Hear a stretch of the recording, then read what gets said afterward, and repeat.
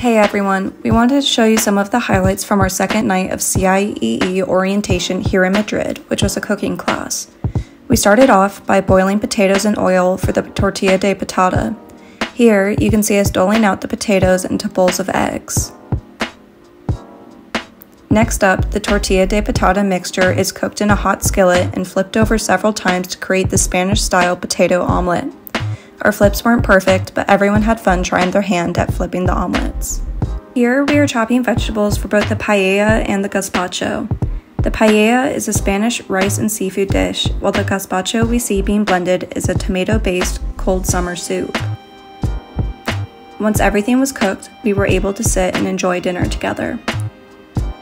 Dinner consisted of this beautiful paella full of fresh seafood such as mussels, squid, and shrimp, cooked in rice, saffron, and fish stock. And for dessert, we had a tarta de Santiago. Is this a meal you would try?